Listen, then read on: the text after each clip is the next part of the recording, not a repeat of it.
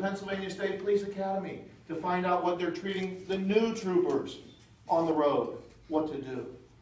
And it was eye-opening to me, the answers that I received, because it was not in my generation or when I went through the academy in 91. So things change, folks.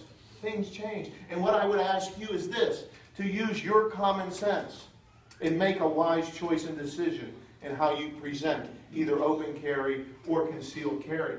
Realize concealed carry is your, when we talk about self-defense, when we talk about protection or surviving an incident, you drop if you lose your ACE card, okay? So, in a traffic stop, what happens? How